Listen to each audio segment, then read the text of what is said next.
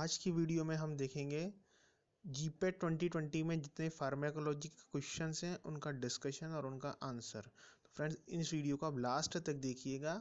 तो इससे आपको जो है अंडरस्टैंडिंग में हेल्प मिलेगी, इसके अलावा क्वेश्चंस किस तरह के आते हैं और जो लोग सेमेस्टर एग्ज़ाम्स दे रहे हैं, उन, वो लोग भी अगर जी की तैयारी कर रहे हैं या चाहते हैं किस तरह के क्वेश्चन आएँ तो उसको देखें, ताकि जगह जगह पे हम बताएँगे कि सेमेस्टर में किस तरह से पढ़ते हैं और जो है जी में क्या डिफरेंस रहता है?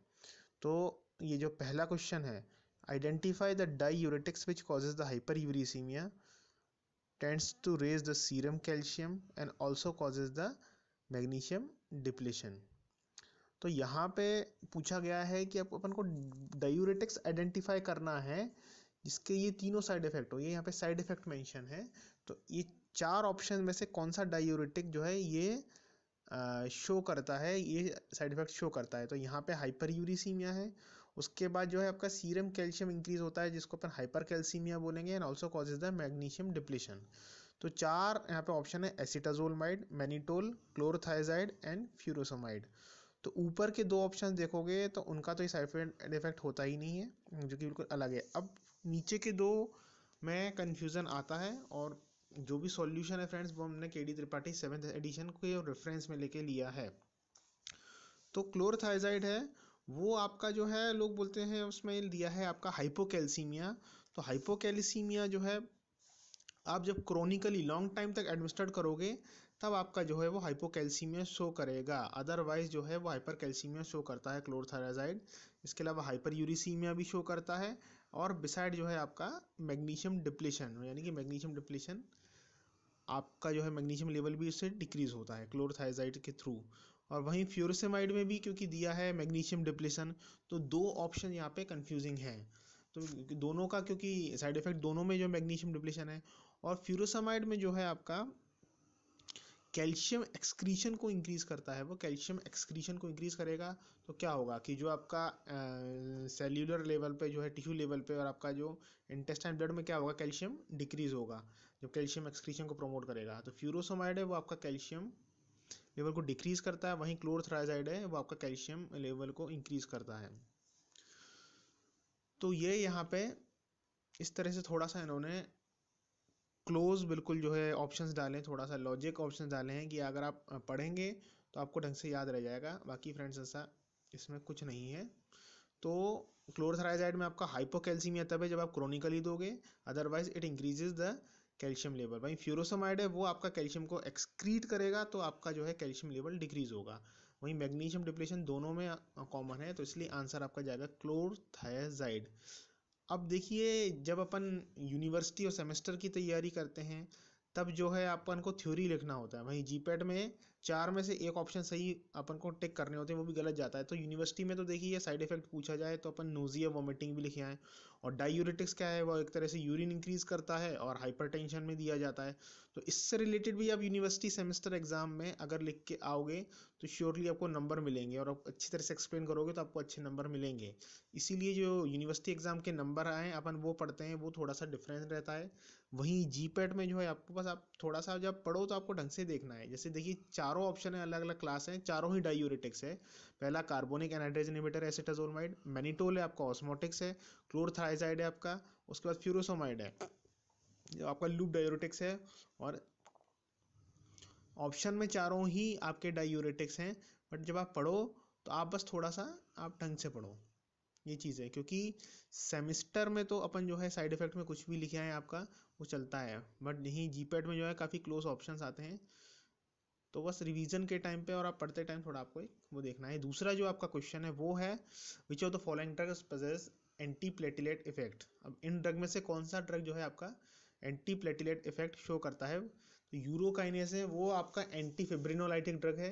तो जो आपका फिब्रिन का फॉर्मेशन प्रिवेंट करता है डेस्मोप्रेसिन है, वो आपका एंटी डायोरेटिक ड्रग है। जो आपका एडीएच हार्मोन है वेसोप्रेसिन आपने नाम सुना होगा वेसोप्रेसिन से नेम मैच करता है डेस्मोप्रेसिन एंटी डायोरेटिक है।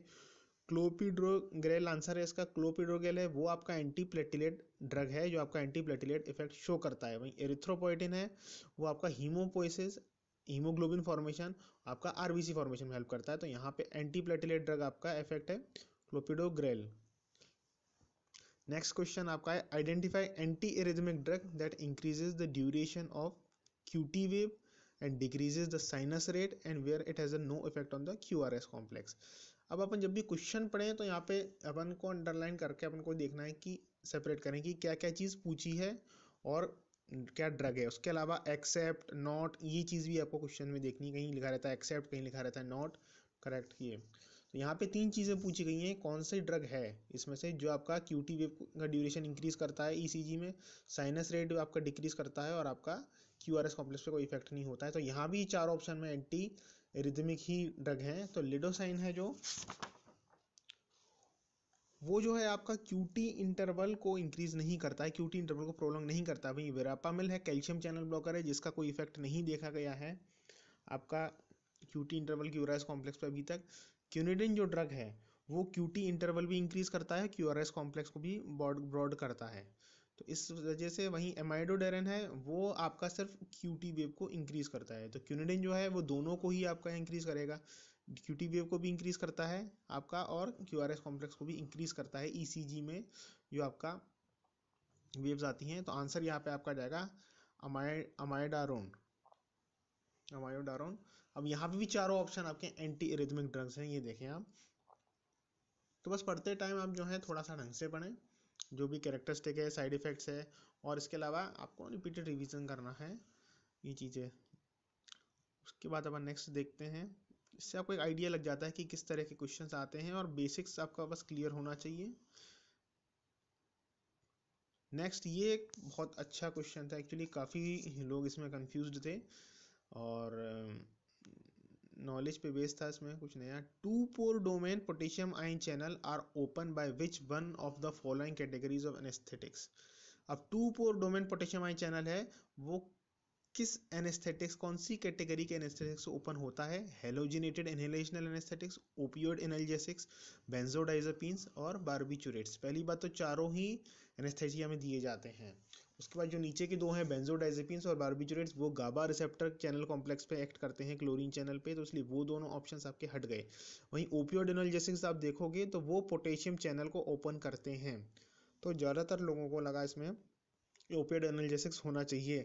But two pore domain potassium ion channel and potassium channel ये दोनों डिफरेंट हैं। पोटेशियम चैनल डिफरेंट है, जबकि two pore domain potassium ion channel different है। तो इसका आंसर है हेलोजेनेटेड इनहेलेशनल एनेस्थेटिक, जो आपका आइसोफ्लोरेन और डेसोफेलवेन और जो आपका हेलोथेन होता है वो two pore domain potassium ion channel को ओपन करते हैं। हालाँकि के डी त्रिपाठी सेवन्थ एडिशन में मुझे ये मिला नहीं बट आप कोई बुक में आपको मिले किसी भी बुक में तो आप प्लीज़ कमेंट करके बताइएगा।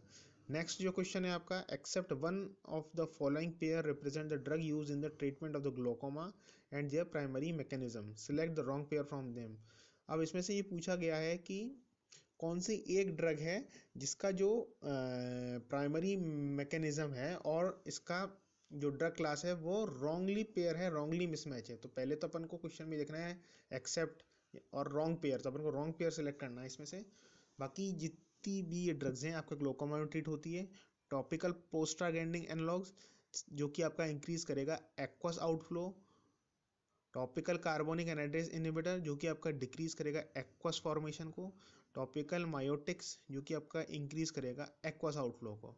वहीं टॉपिकल बीटा एड्रेनर्जिक ब्लॉकर जो कि आपका इंक्रीज करेगा एक्वस आउटफ्लो को। तो ये चारों जो है ऑप्शंस दिए इनमें से अपन को सिलेक्ट करना है कि कौन सा ड्रग का मैकेनिज्म यहाँ पे रॉन्गली पेयर है, गलत है। तो इसमें से जो है आपका प्रोस्टाग्लैंडिन एनालॉग इंक्रीज करता है एक्वास आउटफ्लो को कार्बोनिक एनाइड्रेज डिक्रीज करता है एक्वास फॉर्मेशन को। वहीं आपका जो बीटा एड्रेनर्जिक ब्लॉकर है, वो एक्वास फॉर्मेशन को डिक्रीज करता है, ना कि एक्वास आउटफ्लो को। तो यहाँ पे करेक्ट ऑप्शन जाएगा टॉपिकल बीटा एड्रेनर्जिक ब्लॉकर जो कि आपका एक्वास फॉर्मेशन को डिक्रीज करता है, ना कि एक्वास आउटफ्लो को। तो ये ऑप्शन जो है आपका रॉन्ग है मैकेनिज्म के रिस्पेक्ट में। उसके बाद meloxicam belong to which class of the non steroidal anti inflammatory drug an ये सिंपल क्लासिफिकेशन पूछा गया है तो इसका आंसर होगा प्रेफरेंशियल कॉक्स टू इनिबिटर अब देखिए, सब तरह के क्वेश्चंस आते हैं। कुछ क्वेश्चंस लॉजिक बेसिक हैं तो कुछ क्वेश्चंस वही, जैसे two pair two pore potassium domain channel knowledge का था, ये सिंपल क्लासिफिकेशन पे बेस्ड है।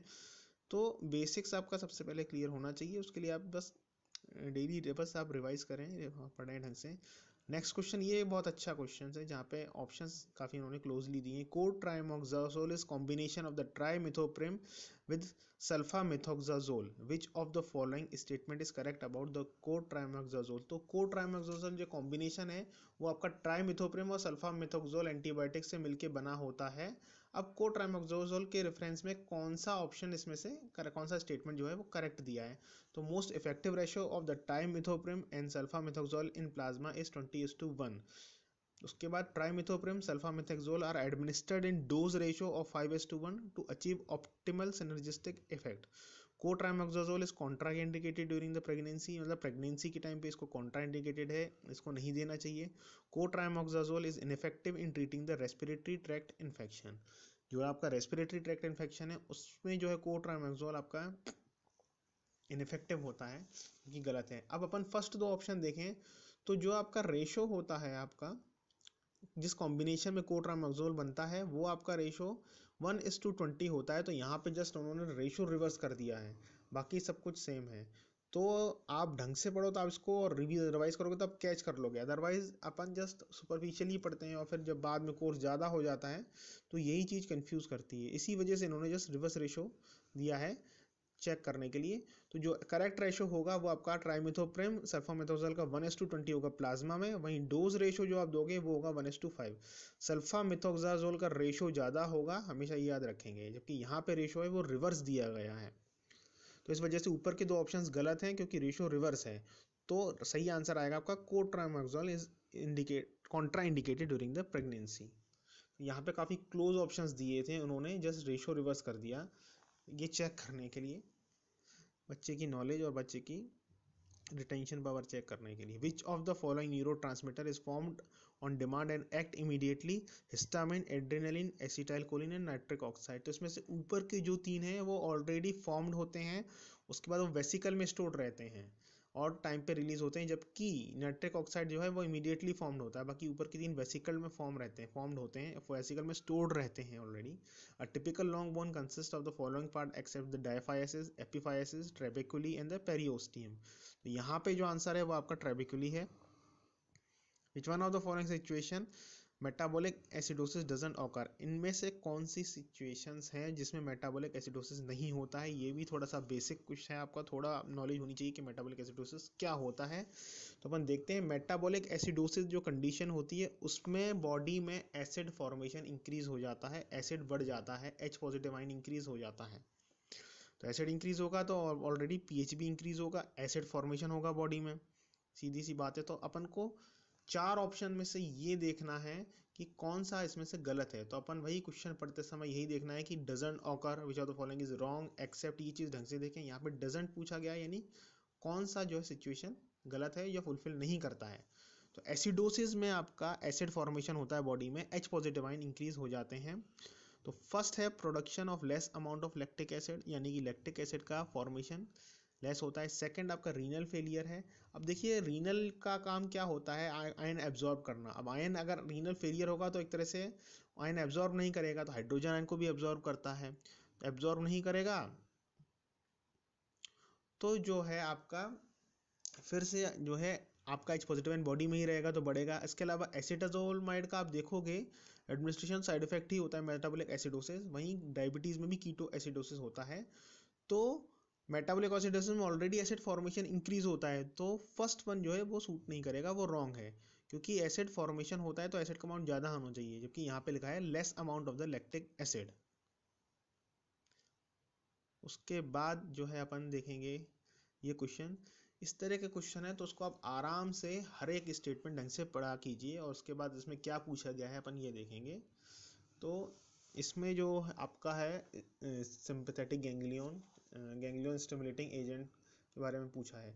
Which three of the following are the physiological effect of the ganglionic stimulating agent अब ये आपके छह स्टेटमेंट दिए हैं, इसमें से कौन सा जो तीन है, वो आपका गैंग्लियोनिक स्टिमुलेटिंग एजेंट है, उनका फिजियोलॉजिकल इफ़ेक्ट शो करता है। उसके बाद आपको ये ढंग से पढ़ें, उसको और ढंग से पढ़ के नीचे ऑप्शंस में से आपको सिलेक्ट करके बताना है। Stimulation of the ganglia and and adrenal medulla leading to the cardiovascular response इसका स्टिमुलेशन है जिससे कार्डियोवेस्कुलर रिस्पांस देता है। Initial transient stimulation and then a more persistent depression of all autonomic ganglia third है, आपका marked depression of C N S leading to the analgesia वहीं fourth है आपका chronic exposure cause a mark increase in the density of the nicotinic receptors contributing tolerance and the dependence last है आपका combined activation of the parasympathetic ganglia and the cholinergic nerve ending by the nicotinic result in increased tone in the motor activity of the bowel. Inhibition of salivary and the bronchial secretion that is followed by the stimulation. तो यहाँ पे छः आपके statement हैं। इनमें से आपको तीन सिलेक्ट करने हैं जो कि गैंग्लियोनिक स्टोमुलिक एजेंट के लिए करेक्ट हैं तो यहाँ पे जो है आपका ए बी और डी ये तीन जो है आपके स्टेटमेंट वो फिजियोलॉजिकल इफ़ेक्ट शो करते हैं गैंग्लियोनिक स्टोमुलेटिंग एजेंट का। तो यहाँ पे आंसर आपका सेकंड जाएगा A B and D statement इस तरह के बड़े क्वेश्चंस में बस आप सारे ऑप्शंस ढंग से पढ़ा कीजिए, आराम से पढ़ना है क्योंकि टाइम वहाँ पे काफ़ी मिलता है।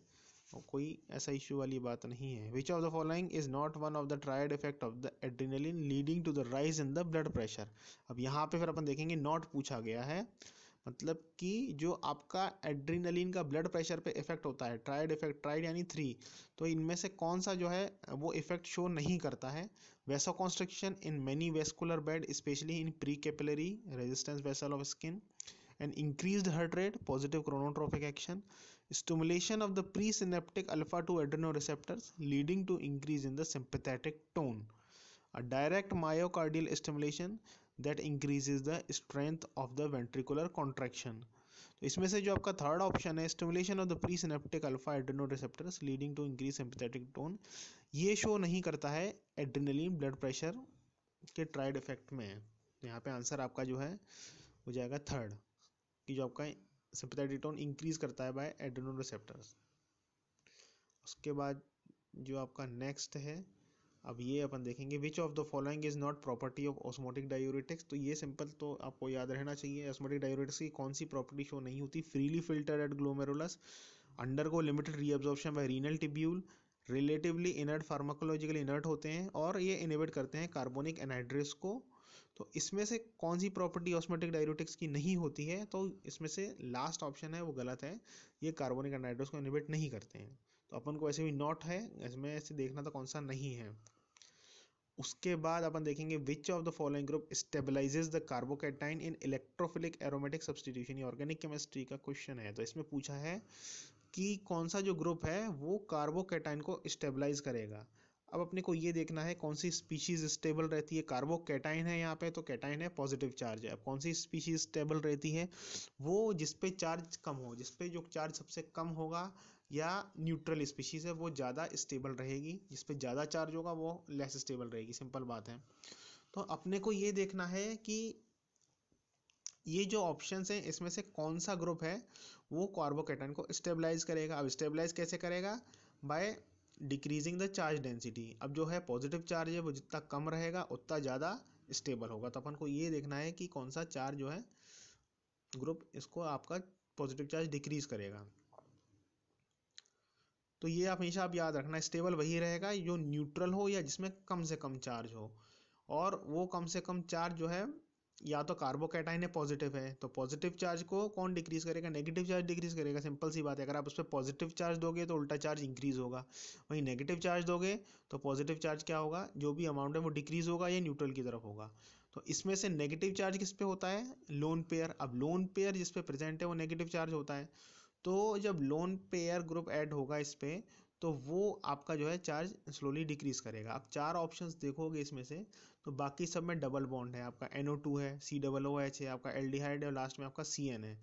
तो जहाँ पे डबल बॉन्ड है, वो क्या होता है? डबल बॉन्ड में आपका नेगेटिव चार्ज ऑक्सीजन की तरफ़ चला जाता है और एक आपका हो जाता है पॉजिटिव रेजोनेंस फॉर्मेशन हो जाता है। तो वो उल्टा पॉजिटिव चार्ज हो जाता है तो वो और चार्ज को इंक्रीज करेगा। अगर यही कार्बो एनाइन होता तो आपका जो पॉजिटिव चार्ज है, जो आपका डबल बॉन्ड है वो उसका चार्ज डिक्रीज करता है। लेकिन यहाँ पे जो लोन पेयर है लोन पेयर पे नेगेटिव चार्ज होता है, वो आपका कार्बोकेटाइन का चार्ज डिक्रीज करेगा चार्ज डिक्रीज होगा तो अपने आप ये स्टेबलाइज होगा। तो आप हमेशा ये याद रखना कि जो आपका नेगेटिव चार्ज है, जो आपका लोन पेयर है, वो कार्बोकेटन को स्टेबलाइज करेगा स्टेबल वो होगा, जिसका चार्ज लेस होगा। अब कार्बोकेटन पॉजिटिव चार्ज है, अब चार्ज पॉजिटिव को लेस कौन करेगा? नेगेटिव अब नेगेटिव है आपका यहाँ पे लोन पेयर तो ये ऑर्गेनिक केमिस्ट्री का क्वेश्चन है जिसमें आपको बेसिक्स पता होना चाहिए। ये कोई डायरेक्ट आपका ऐसा नेम रिएक्शन या रिएजेंट वाला नहीं है। यहाँ पे आपको बेसिक्स पता होना चाहिए जस्ट सिंपल और जो आपका जहाँ भी डबल बॉन्ड है तो डबल बॉन्ड है वो आपका कार्बो एनाइन अगर नेगेटिव चार्ज है वहाँ पे जो है इसको स्टेबलाइज करेगा। ये चीज़ आप अच्छे से याद रखना। उसके बाद जो है आपका, क्योंकि NH2 और OH इन दोनों पे लोन पेयर होते हैं। वहीं C double O H C H O इनमें डबल बॉन्ड है, जबकि थर्ड ऑप्शन में डबल बॉन्ड नहीं है कहीं भी। अब नेक्स्ट ऑप्शन है आपका the mechanism of anti epileptic effect of the lamotrigine is by अब इसमें से आपका mechanism of anti epileptic effect of lamotrigine जो है आपकी एंटी इपिलेप्टिक ड्रग है, इसका मैकेनिज्म पूछा है आपका।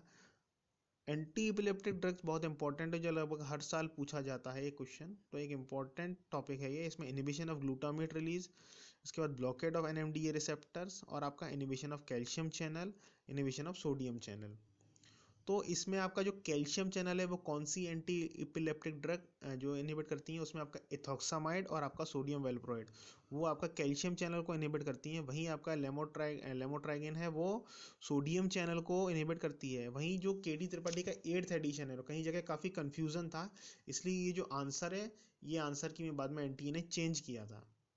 या तो उसको बोनस जाना चाहिए, या फिर एन ने चेंज किया था, क्योंकि के डी त्रिपाठी एट्थ एडिशन में तो आपका चैनल भी दिया है कैल्शियम भी और सोडियम भी मल्टी चैनल है। वहीं कई जगह मल्टी चैनल है, वहीं ये सोडियम चैनल भी दिया है। आपका जो डायग्राम है के डी त्रिपाठी में, वो आप देखेंगे सेवन्थ एडिशन में तो वहाँ पे सोडियम चैनल है। उसके बाद आपका है which one is not an opioid receptors अब ओपियोड रिसेप्टर्स के जो सब टाइप होते हैं, इन चारों में से कौन सा एक सब टाइप जो है ओपियोड रिसेप्टर्स का नहीं है कप्पा गामा डेल्टा और म्यू तो इसमें से जो म्यू है, वो आपका morph high affinity for the morphine के लिए हाई एफिनिटी है।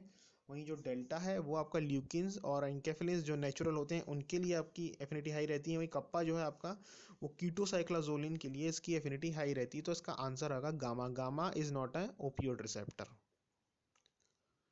उसके बाद आपका जो है which of the following statement with respect to the carbachol is not correctly identified अब यहाँ पे नॉट दिया है not correct identified not correct मतलब कौन सा रॉन्ग कौन सा जो सही नहीं है मतलब गलत कौन सा है? पहले तो अपन को ये देखेंगे कहीं। उसके बाद जो है, यहाँ पे चार ऑप्शंस दिए हैं।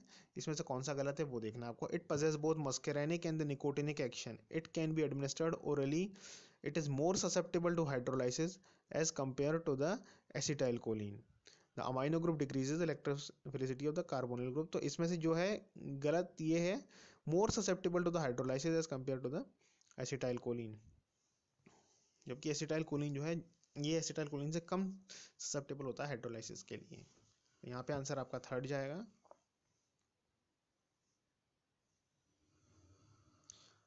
वहीं D tubocurarine produces the skeletal muscle relaxation by inhibiting nicotinic receptors in the neuromuscular junction, ganglionic receptors, muscarinic receptors and alpha adrenergic receptors.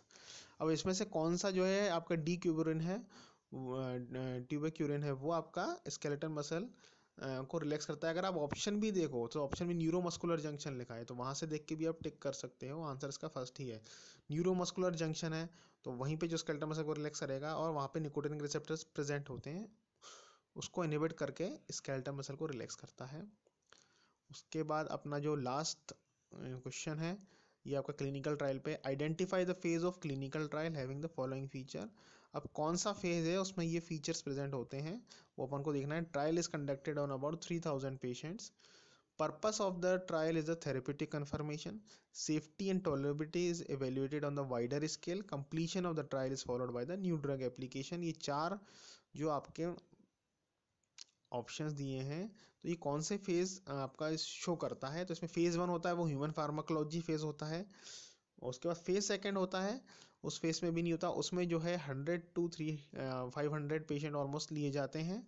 और आपका जो थर्ड फ़ेज़ होता है, जिसे अपन बोलते हैं तो ये आंसर है, उसमें आपका जो तीन हज़ार पेशेंट पर ट्रायल किया जाता है।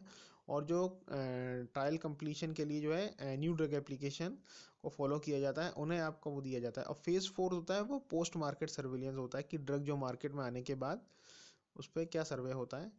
तो फ्रेंड्स बताइए कि ये वीडियो कैसा रहा और इसमें जहाँ तक हो सका था मैंने सारे क्वेश्चन के आंसर्स आपको बताए। Thanks for watching